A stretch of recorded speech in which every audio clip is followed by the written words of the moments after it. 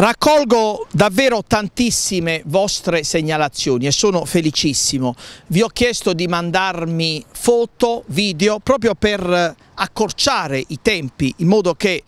eh, rendo pubblica la problematica e contemporaneamente posso affrontarla nelle sedi comunali competenti. Quest'oggi voglio parlarvi attraverso queste immagini che un amico, una persona di Talzano mi ha eh, inviato, la situazione di Talzano soprattutto ma anche di Lama relativamente ai lavori di acquedotto pugliese. Quando vengono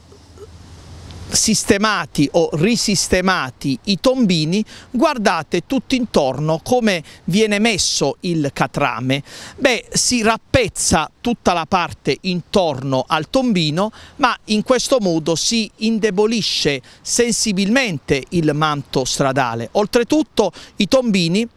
si trovano al di sotto della superficie e quindi eh, non sono livellate al manto stradale, i tombini non sono livellati al manto stradale e di fatto, di fatto rappresentano eh, una vera e propria buca. Allora, cari signori dell'acquedotto pugliese, quando si fa il lavoro non ci si limita a mettere l'asfalto proprio intorno al tombino e basta, ma va rappezzata, va rifatta tutta la strada, il manto stradale, in una certa misura congrua stabilita dalle normative, proprio per assicurare la stabilità della, della strada stessa, altrimenti eh, quelle, quei, quei rappezzi con la pioggia, con l'acqua, tendono a sprofondare e come dire ehm, rendono la strada, dicevo, rendono il manto stradale, l'asfalto debolissimo, lo, lo, inde, lo indeboliscono, lo rendono ancora più vulnerabile di quanto di quanto è, eh, perché viene fatto, ripeto, il minimo indispensabile, proprio la linguetta, la striscetta, il cerchio intorno al, come asfalto, intorno al tombino. Invece bisogna rifare quel pezzo di manto stradale nelle misure stabilite dalla legge. La legge impone i due terzi della, della carreggiata, non dico i due terzi, ma almeno, viva Dio, non vi limitate per cortesia a fare la leccata di asfalto, la leccata, quella striscetta di asfalto. E quindi a questo proposito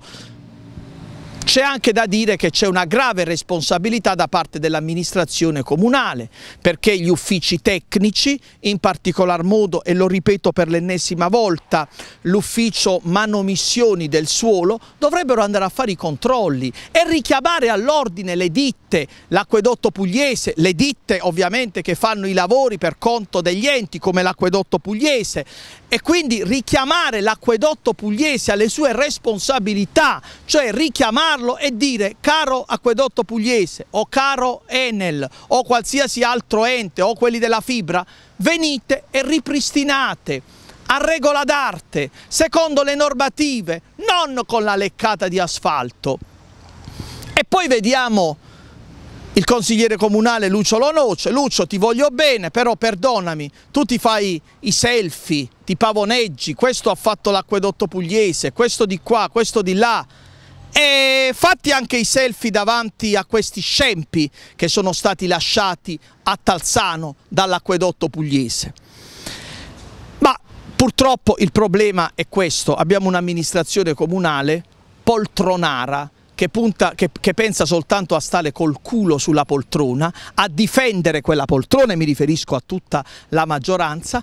e non abbiamo un'amministrazione comunale che gira per la città, che gira, allora l'assessore ai lavori pubblici dovrebbe, eh, Ciraci dovrebbe girare e contemporaneamente dovrebbe andare presso gli uffici tecnici e stimolare prendere per l'orecchio tra virgolette gli uffici tecnici e dire signori cari sollevate il culetto dalla sedia e andate a fare le verifiche in loco per vedere questa azienda, questa ditta ha fatto il lavoro bene, come l'ha fatto? Allora ci deve essere la sorveglianza, ci deve essere il controllo da parte dell'amministrazione comunale attraverso gli uffici tecnici, cosa che a Taranto non esiste. E gli enti e le ditte a Taranto fanno i cazzi propri, fanno i cazzi propri e invece l'amministrazione Melucci non controlla e non controllano, come detto, neppure gli uffici tecnici, perché è molto più comodo stare belli seduti sulla sedia davanti alla scrivania e davanti al PC piuttosto che girare la città come faccio io sotto al caldo e al freddo, sotto il sole e sotto la pioggia.